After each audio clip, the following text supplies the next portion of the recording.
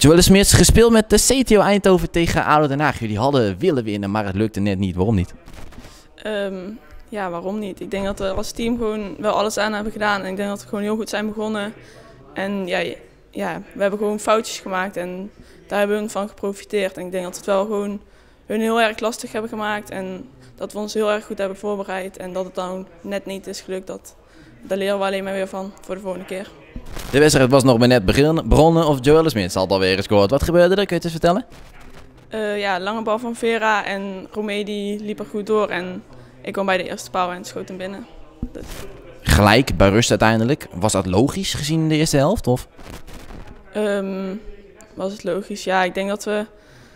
We waren op zich wel gelijkwaardig, maar het was voor ons ook wel verdiend geweest als we gewoon 2-0 voor gestaan. En het is altijd lastig als je net voor rust een doelpunt tegenkrijgt. Dan ga je toch net iets anders de rust in dan met de voorsprong.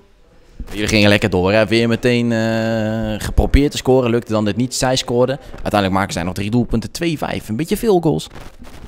Eh, ja, het is erg jammer dat je er zoveel tegen krijgt. En ja, ik denk dat we op, de, eh, ik denk dat we op zich ook wel veel hebben laten lopen. De tweede helft, zeg maar, dat we wel iets minder speelden als team. Maar ik vind nog steeds dat we alles hebben gegeven. En ja, foutjes maken, dat gebeurt nou eenmaal. En daar hebben we uh, van geprofiteerd. Zeker. Tegen een profclub spelen in de beker. Hoe was dat? Ja, ik denk dat we trots mogen zijn dat we uh, tegen zo'n vrouwenteam mogen spelen. En ja, we zijn ook trots dat we gewoon deze wedstrijd hebben mogen spelen. En ik denk dat we gewoon heel goed zijn begonnen. En dat we uiteindelijk gewoon ja, trots mogen zijn dat we zo'n wedstrijd hebben mogen spelen.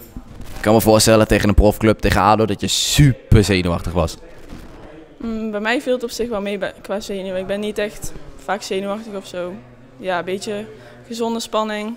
En ik denk dat het ook wel goed is, maar gewoon allemaal lekker voetballen. Ja, jij speelt natuurlijk ook in nationale, onder 15 misschien heb je gezeten, onder 16, onder 17, nu onder 19 allemaal gezeten?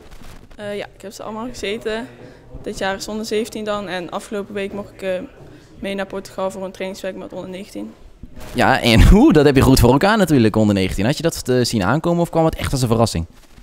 nee, ik had het niet echt zien aankomen. Het is altijd mooi als je met een hoger team mee mag doen. En ik denk dat dat voor iedereen ook wel doelen zijn. En het is dan mooi dat ik zo'n kans krijg. En het ging volgens mij best wel lekker, uh, Joelle Smits. Ja, het ging inderdaad uh, wel lekker. Ik heb mijn doelpuntjes mee kunnen pikken.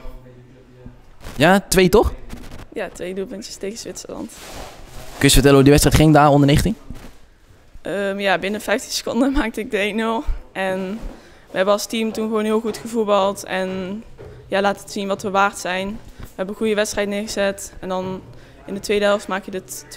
En dan is het jammer dat je aan het einde nog 2-1 uh, komt te staan. Maar ik denk dat we als team een hele goede wedstrijd hebben gespeeld. Nou hoorde ik dat jij het meeste doelpunten van alle oranje teams hebt gemaakt afgelopen jaar. Wat doet dat met je? Uh, ja, de, ja, dat doet natuurlijk wel iets met me. Ik denk dat het geeft me gewoon een goed gevoel. Ik wil graag doelpunten maken en ja, zoveel mogelijk. Dat is alleen maar uh, mooi meegenomen. Hoe nu verder met CTO Eindhoven dit seizoen? Wat ga je nog allemaal doen? Uh, ja, gewoon de competitie nog verder. En misschien dat we nog wel um, een leuke trip gaan doen of zo. Net zoals vorig jaar. Toen zijn we naar München geweest. En wie weet wat er nog meer gaat gebeuren.